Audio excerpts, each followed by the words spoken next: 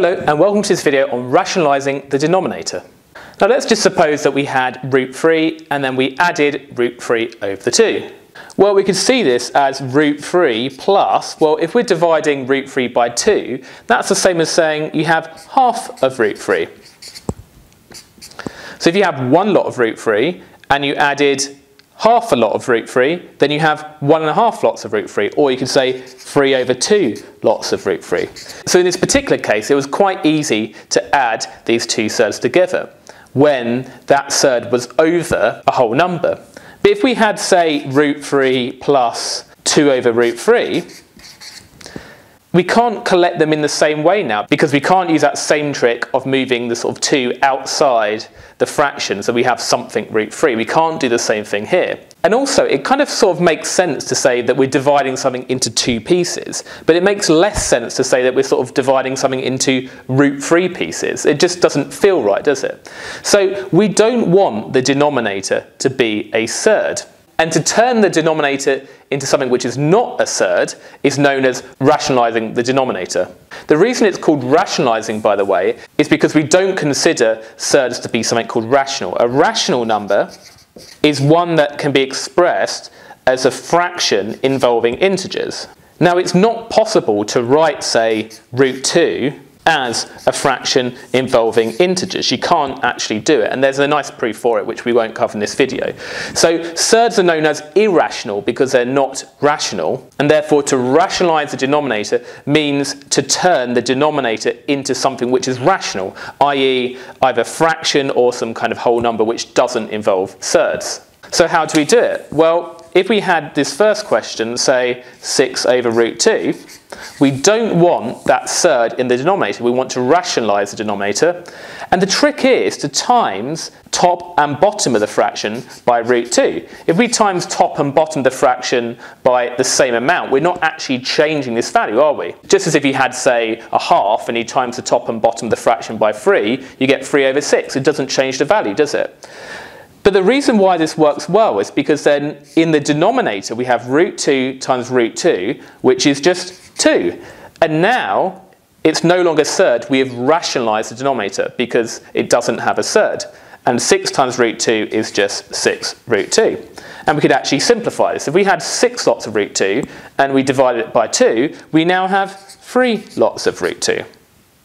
Let's just do another one like that. If we had 12 divided by root 3. What do we need to times the top and bottom by to rationalise the denominator? Well, we times top and bottom by root 3.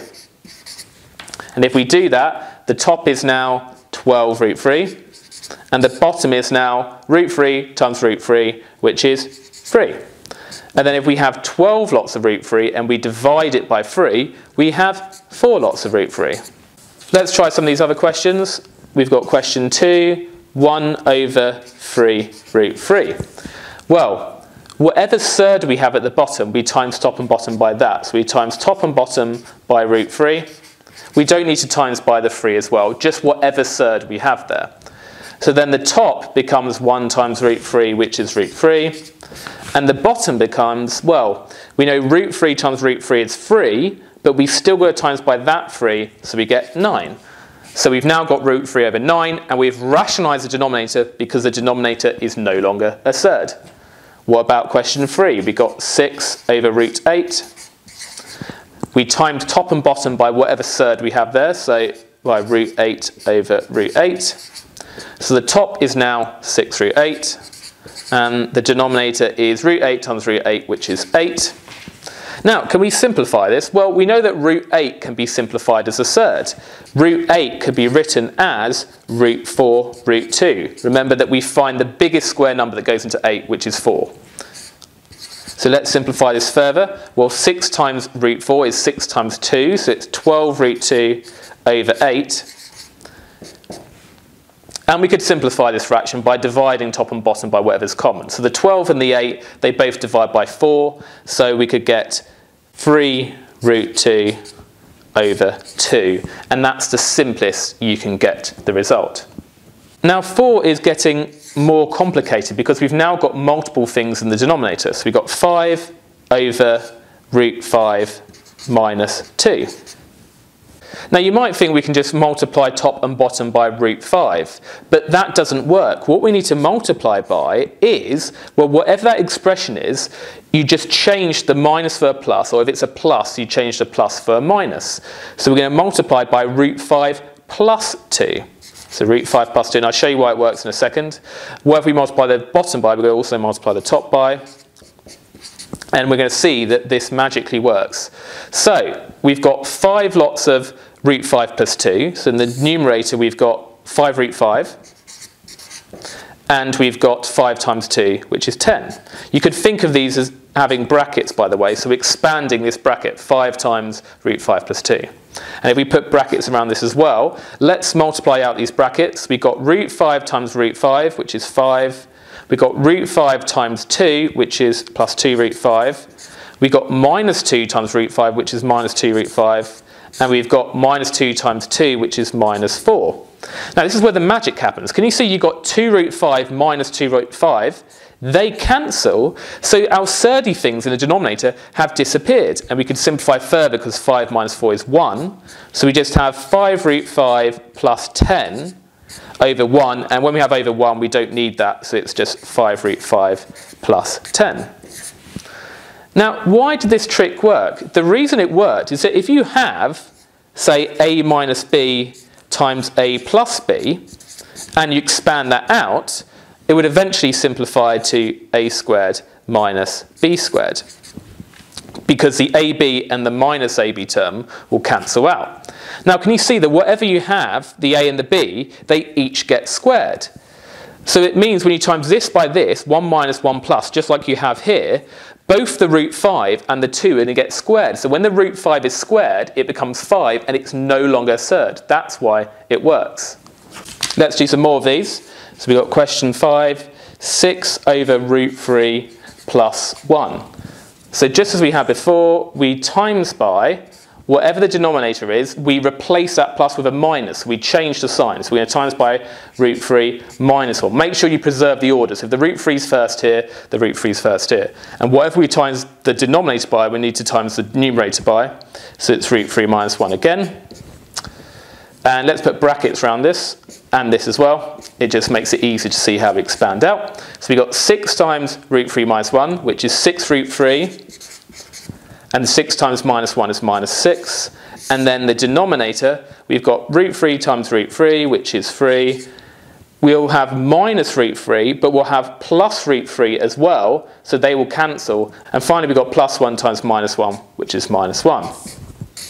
And the quick way, by the way, to expand this out is remember that when we had a plus b times a minus b, that expanded out to a squared minus b squared. So we can do that squared minus that squared. So it's root 3 squared, which is 3, minus 1 squared, which is 1. 3 minus 1 is 2. So we have 6 root 3 minus 6 at the top. Now, we can divide each of these things by 2. So 6 root 3 divided by 2 is 3 root 3 and minus 6 divided by 2 is minus 3. So it simplifies to that. What about question 6? We've got 1 plus root 2 over 3 plus root 8. So just as we did before, we're going to multiply it by 3 minus root 8. So we change the sign. And therefore, we're going to also multiply the top, the numerator, by 3 minus root 8. Let's put brackets around everything. Now we could expand this out in the denominator, but remember my little trick? If you've got the difference of two squares, where you've got the same thing in both cases, but one is plus, one is minus, you can do that squared minus that squared. So it's 3 squared, which is 9, minus root 8 squared, which is 8, so you're going to have 9 minus 8. And what about the numerators? We just need to expand out in the usual way. So we've got 1 times 3, which is 3, 1 times minus root 8, which is minus root 8. We've got root 2 times 3, which is plus 3 root 2 and we got root 2 times minus root 8, which is minus root 16, because we've got a surd times a surd, we just multiply the numbers. Now let's just simplify that bit. Well, we've got 9 minus 8, which is 1, and it's over 1, so we can just completely ignore the denominator. Now this, we've got 3 minus root 8, we could write as root 4 root 2, which is 2 root 2. We've got plus 3 root 2, and root 16 was just 4, isn't it? So it's minus 4, and then let's collect like terms as such. We've got 3 minus 4, which is minus 1, and minus 2 root 2 plus 3 lots of root 2 is 1 lot of root 2, so it's just plus root 2. Or slightly more cleanly, we could write root 2 minus 1. And by the way, if you have a calculator and you just type that into your calculator, it would actually simplify it to this, so it can do the work for you. What about this final one? 7. Uh, I saw this in a mock paper once, but I've never actually seen something like this in a real paper. So 4 over root 2 plus 1 over root 2. Now, this is a bit of a weird one because we've got a fraction within a fraction.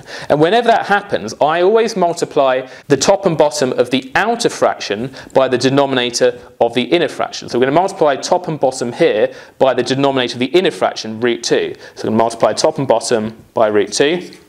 So the numerator is 4 times root 2, which is 4 root 2. And the bottom is now, well, root 2 times root 2 is 2. And then when we times 1 over root 2 by root 2, the times thing by root 2 cancels out the divided by root 2, so we just get 1. So then it just becomes 4 root 2 over 3. And we've rationalised the denominator, there's no surd in the denominator, so we're okay.